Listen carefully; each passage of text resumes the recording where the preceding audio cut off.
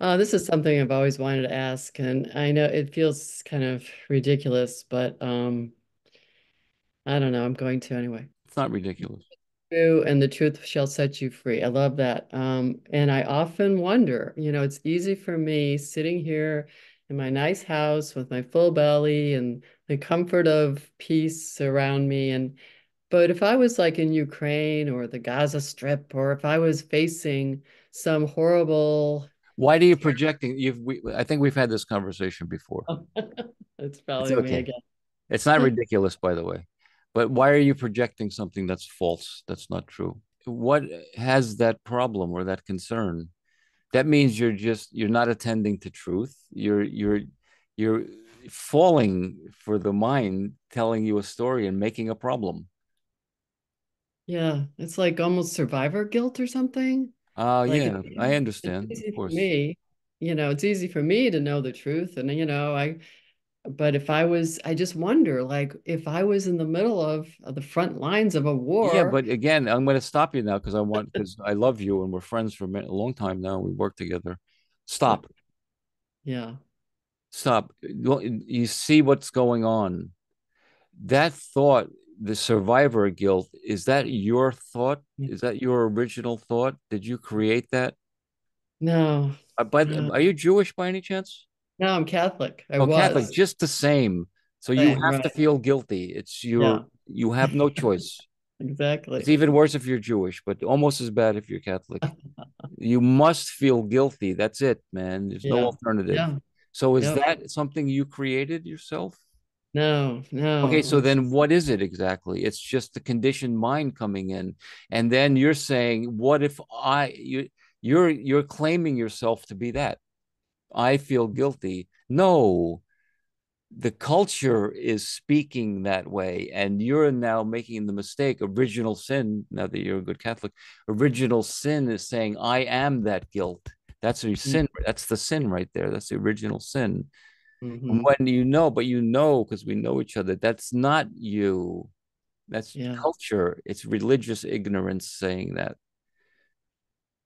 So you have to uh, that's what devotion to truth means. In mm-hmm. this moment what are you going to be devoted to? Truth or the ignorance that's been abused into your poor innocent mind which are you going to be devoted to that's what i said earlier viveka discrimination are you going to Mm-hmm. be devoted to truth which is now or are you going to be de- devoted to ignorance which is all of that conditioning have a viveka the discrimination to see the difference Mm. that devotion to creating a story of something that I can't possibly know is yeah insane. Yeah, Yeah, exactly. And it's not even you creating the story, by the way, as you know as well, because we've worked together. hmm That story is just appearing in your mind, you know.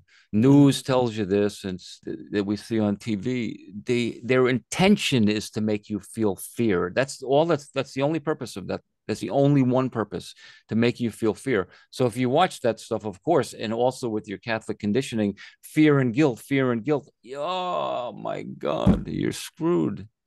So Viveka, see that ignorance and see truth and be devoted to love. Love is now, peace is now. Your own peace is much more valuable for yourself and everyone around you and the world than you're solving any problems that you project and that are projected in your mind, you know. Your peace solves everything. Yes, yes, yes. Well, I needed that shot, that injection. Thank you. That was awesome. I've known you for a while, so I felt you know free to you know Yeah. to No, you say is so true. And, and just for you to say it then and blast me with it again is just very helpful. yeah Yeah, you're great, Pam. We've known each other quite a while, but you've had that same question or similar. I think I have. I haven't asked it for a while. you know I what think your pro- you know your problem is is that you care. You know that's your problem. You have you have empathy and compassion. You know you gotta get gotta get rid of all of that stuff. I'm kidding. But what you're saying is if, with the empathy, empathy and compassion, you're right, though, that if I um, know my own peace, know who I truly am, radiate that, that's the best way to be compassionate and and uh, be of Yeah, service, you that's what I think. Yeah, wrapped up in my these stories and the fear of what if and that you know that's that just totally brings darkness you know That's it's great. not What yeah what good does it do you or anyone around you? Nothing. Of course, exactly horrible. But what good does your light do you and everyone else around you? You can and change the world. That's how you change the world, you know, and not in the hyperbolic sense of I'm going to solve the Ukraine and, and Israel problem, right but right you right change the world by your light, you know. Yes yes and that's the devotion that you speak of that's the Absolutely. devotion Devotion is the biggest thing in the world.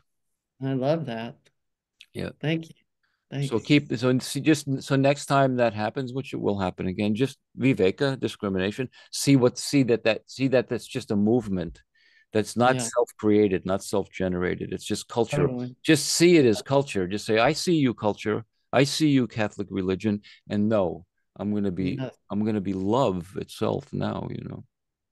beautiful yeah thank Yeah, you that's great, Pam. Nice to see you.